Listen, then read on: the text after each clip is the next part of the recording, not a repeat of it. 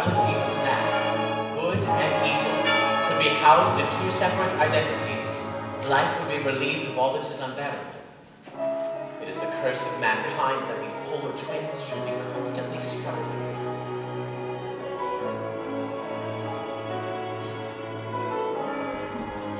In the autumn of 1888, my friend Henry Jekyll embarked on a series of scientific experiments that he hoped might alter our notions of good and evil. How could I have known it would also and as well?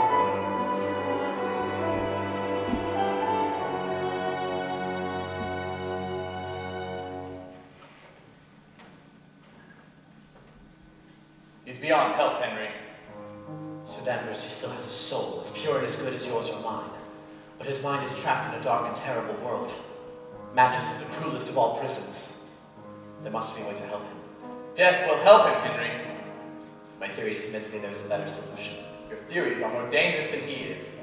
Your colleagues here are trespassing on hallowed ground when you experiment with the human mind. My colleagues are cowards, afraid of what they can't understand. How can we continue to call ourselves civilized if we're not prepared to help him and every other wretched soul like him? You're a gifted man, Henry. Use your gifts wisely.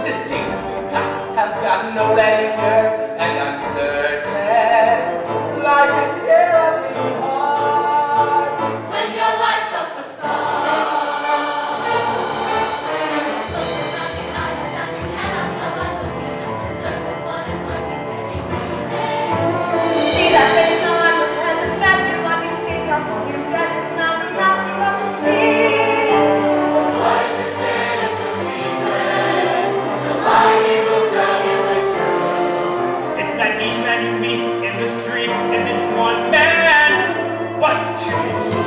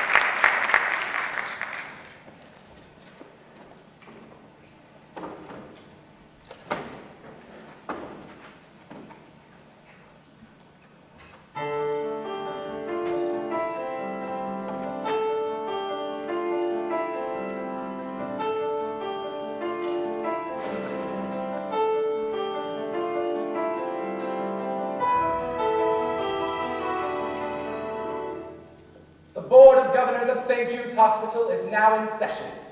So daggers could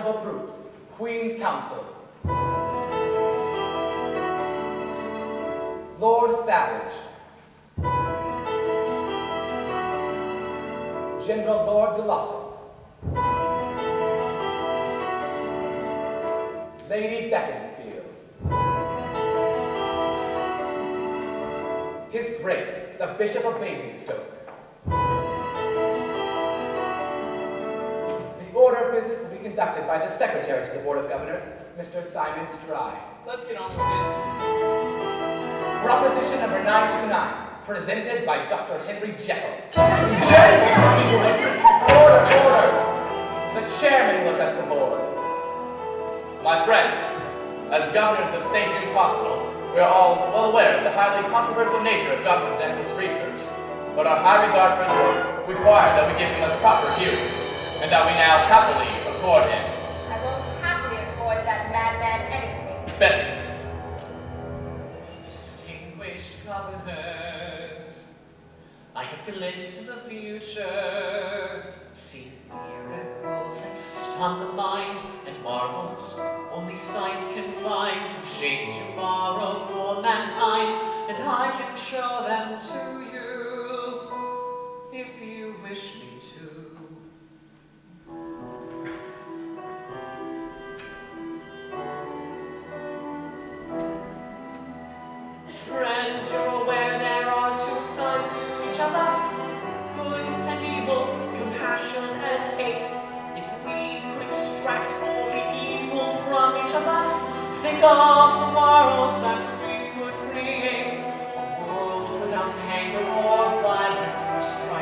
where man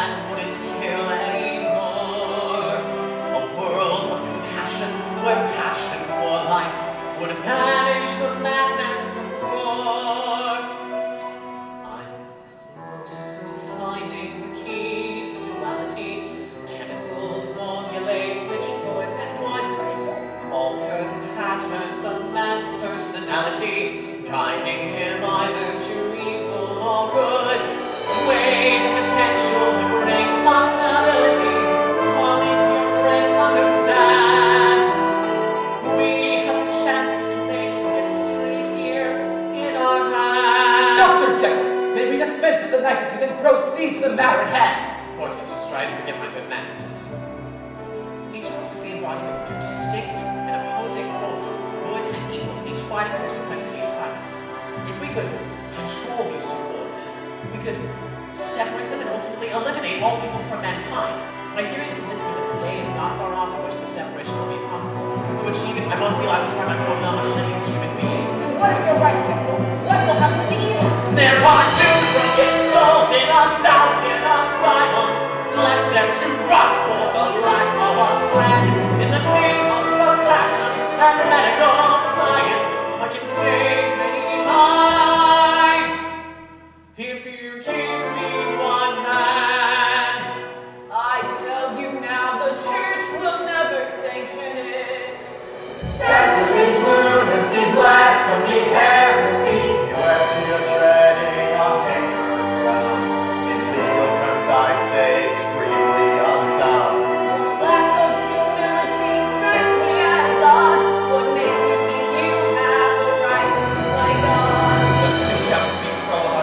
says you're playing God. There's such a thing as ethics over which you have no shot. You're a doctor, not a savior, Dr. Jekyll for a start. But I can judge from your behavior, you can't tell the two apart. dear Mr. Stride, I am simply a scientist. I have a code to which I remain true. I don't presume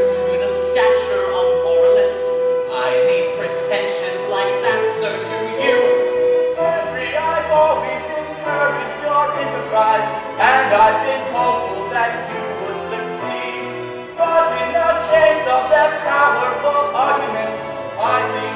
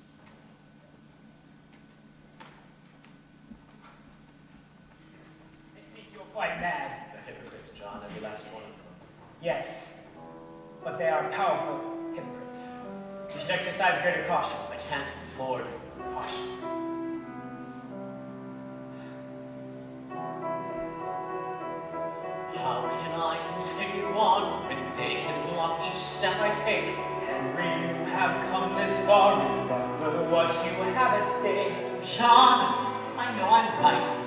I have let my vision guide me. I'm so weary of the fight. There's so little left inside me. If you know that you are right, then you've got to see it through. You've got to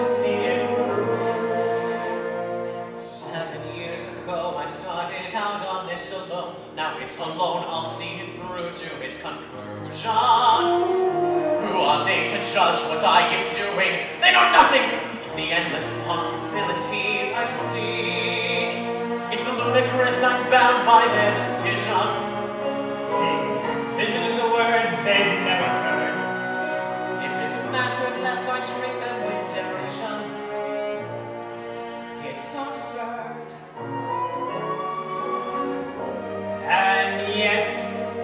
fact,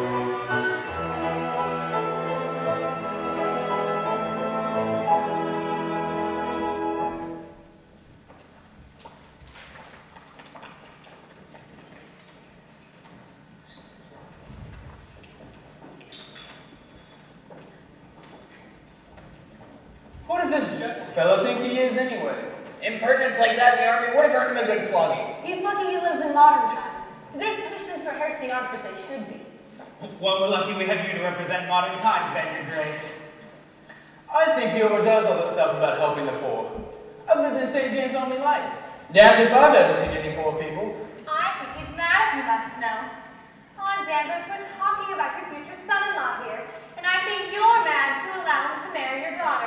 That's not Father's decision, Lady Beaconsfield. It's mine. Don't worry, Bessie. Whatever your views on him as a scientist, Emma assures me that he is impeccable husband material. It's less than impeccable to be late to one's own engagement party. Shows a remarkable lack of style. Comments on style, madam, should never be made by those who have none. Oh, good. Now Jekyll and I can drown our respective sorrows in Sir Danvers' drink. My dear Simon, you're so gracious to wish Emma and Henry both well. Dear Sir Danvers, as you know, sir, I wish Emma the sun and the moon, but I have to confess that I wish Henry Jekyll in hell.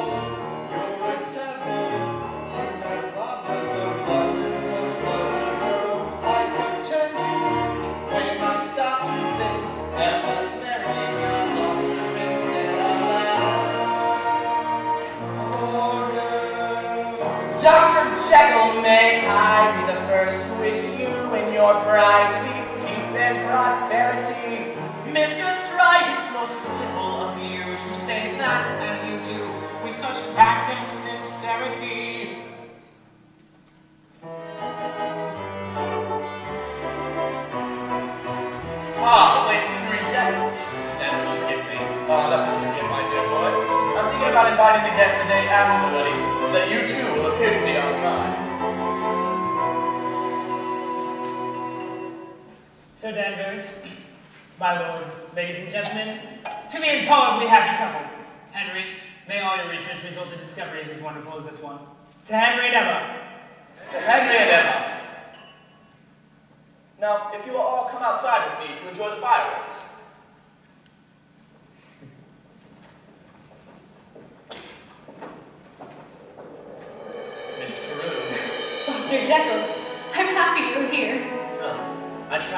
Miss any social occasion attended by the Lady Beaconsfield. Is there a Lord Beaconsfield? He died 30 years ago. Sensible fellow. You know, Henry, I sometimes wish you were as diplomatic as you are outspoken. I'll be outspoken if you'll be diplomatic. If you had presented my case today to the Board of Governors, I probably would have gotten what I wanted. You'll get what you want in the end, Henry. You always do. I don't have a choice. I must go on with the work I'm committed to. How can I not when my theories are true? And I will prove if I'm ever permitted to. Things are not wrong just because they are new. Henry, I adore you, always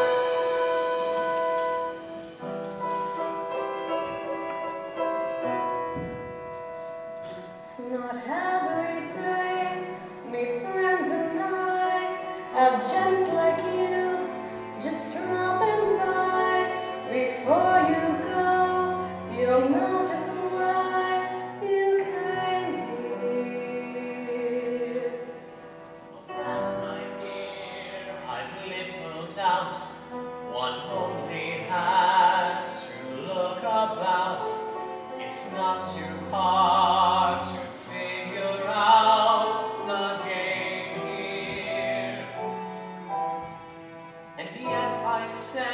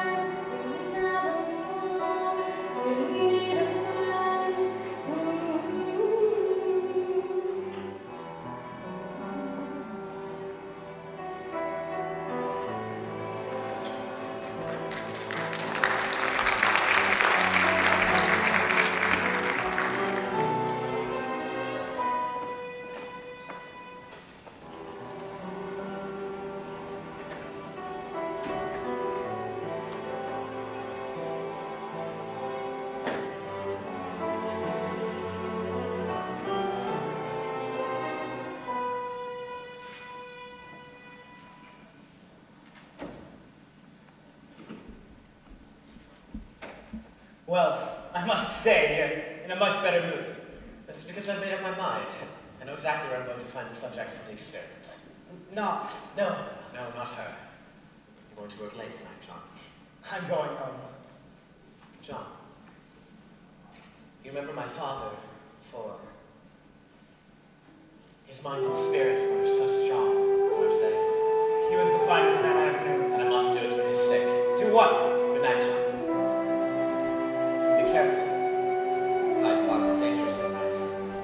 you, Henry. And for God's sake, go straight to bed.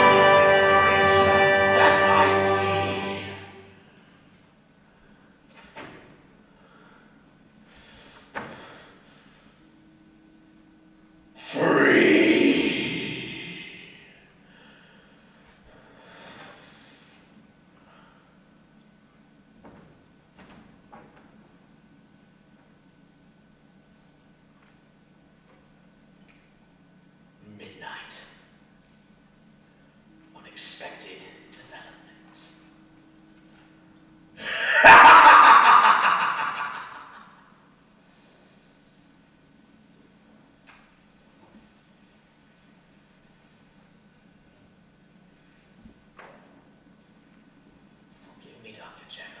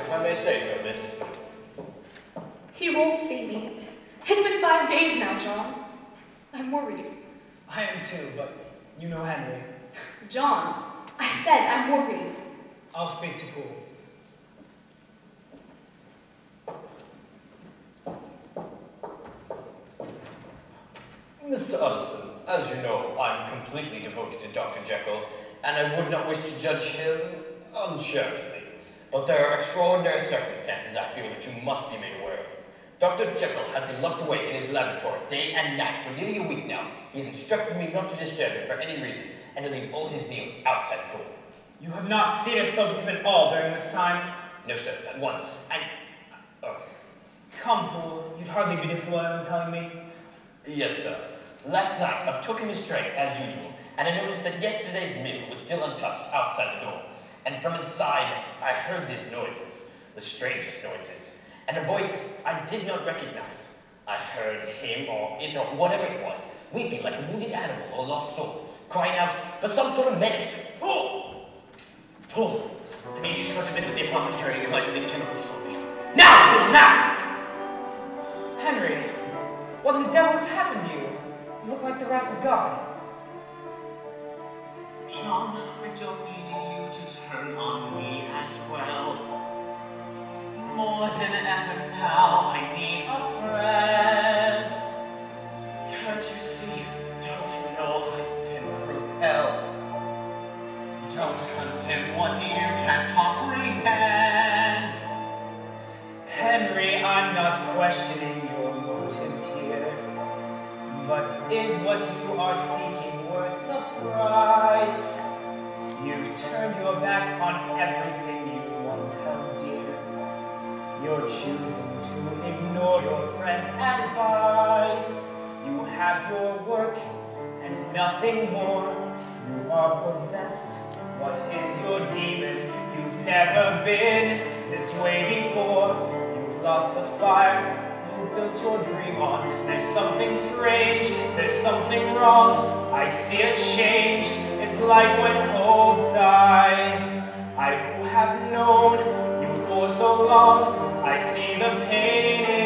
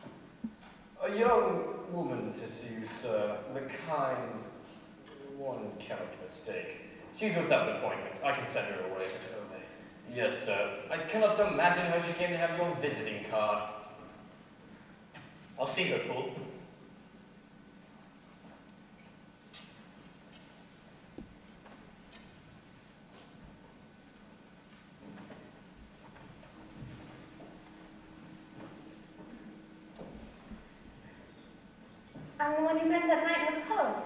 Remember? Lucy. Lucy Harris? What brings you here? You said if I ever needed a friend.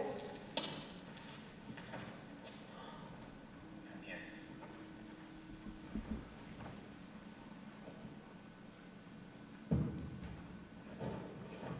Pretty, ain't it? And this one enjoyed himself doing it too. Things like this. They happen where I come from, but you don't expect it from a gentleman. A Gentleman what sort of a monster would do such a thing? I won't forget his name in a hurry. Hyde, he called himself. Edward Hyde. Why come to me? You give me your name. I never had someone like you be nice to me before. Why didn't you go to the police? The police! You're joking with him being a gent. Who's gonna listen to me? I'd be afraid of what he might do if he found out. He ain't human. He's a beast. He's not like you at all.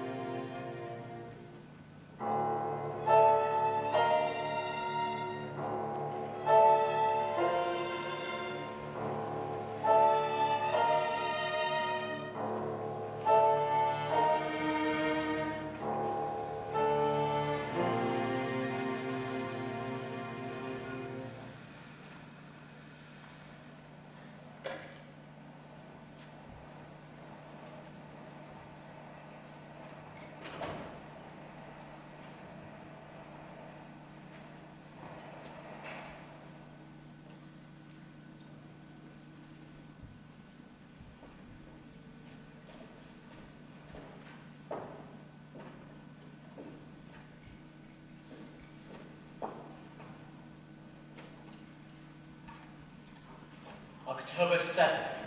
I am dangerous. More dangerous than any wild animal stalking its prey. What brings you here? Henry? You scared me. For a moment, I... How long have you been here? How long? Just these last few minutes. Poole let me into the house and I saw the door was open. How dare you look into my journal? What did you see? What did you see?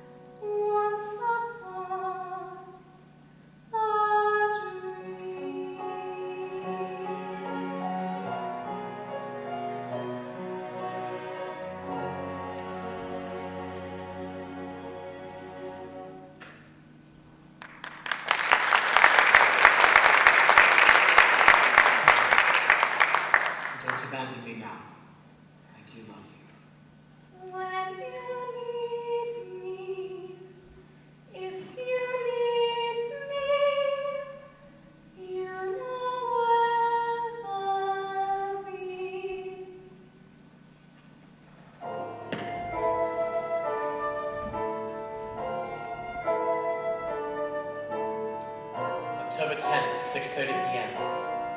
The experiment is out of control. The transformations have started to occur of their own accord. I have radically altered the chemical balance of the formula to try to contain and overcome the powerful yet dark forces that work inside me. I know well I risk death.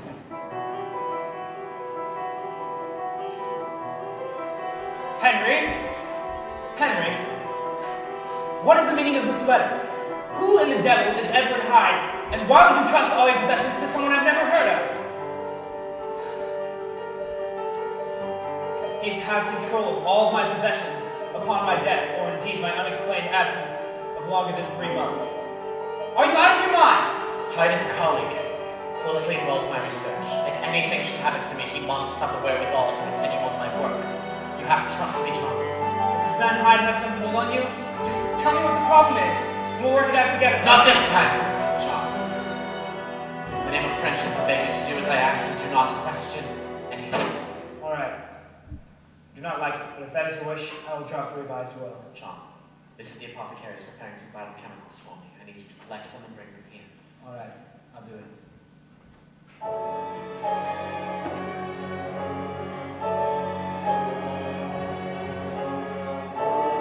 I am aware of my peril.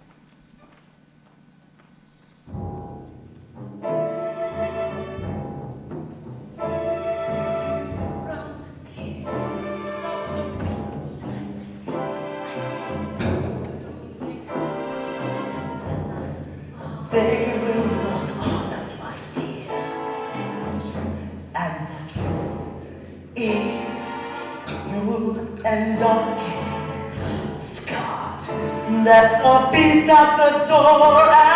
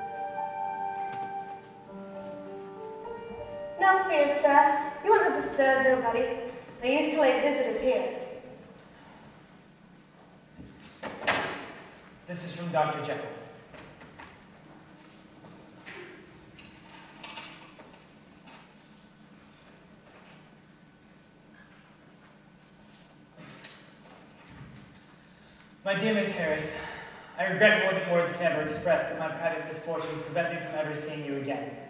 I have found in you a tender and loving light in these past dark days. Please accept the enclosed as a small repayment for the lesson you have taught me. Leave this place, I beg you, and begin again, secure in the knowledge that I shall never forget you. Henry Jekyll. He don't owe me nothing. I owe him. That is none of my concern, but I beseech you to do as he asks. I'm sure it's for the best. Why didn't he come? Why did you? Because he is my friend. Yeah. I suppose he's mine too. Believe it. Good night, Miss Harris, and good luck to you. May you find a better life elsewhere.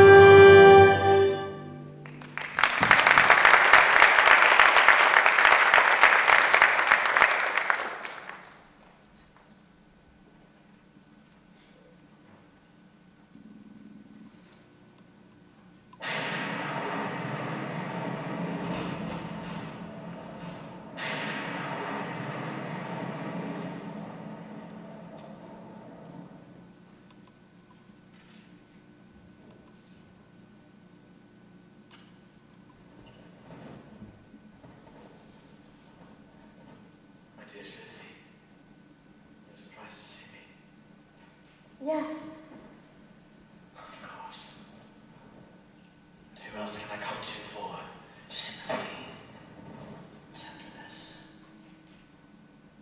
You've had another visitor this evening. No, not really. Couldn't be the doctor himself, could it?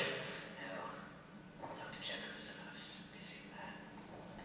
You know Dr. Jekyll? Of course. As well as I know myself. We're very old friends, he and I. We share everything. Just as you and I do, my sweet.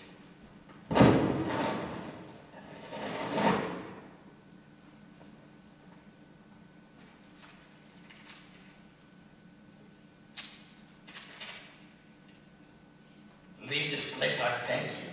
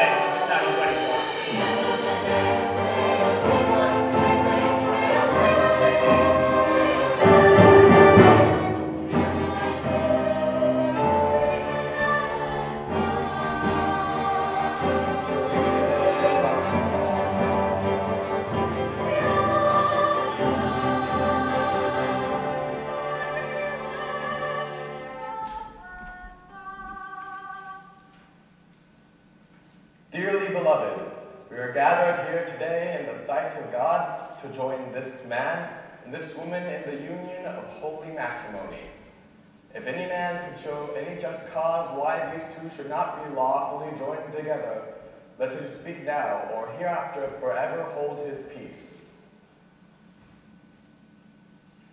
Henry, John, Albert, Jekyll, Judith, Emma, Alice, Margaret, Carew. Henry, what is it? Henry! Oh God, what now?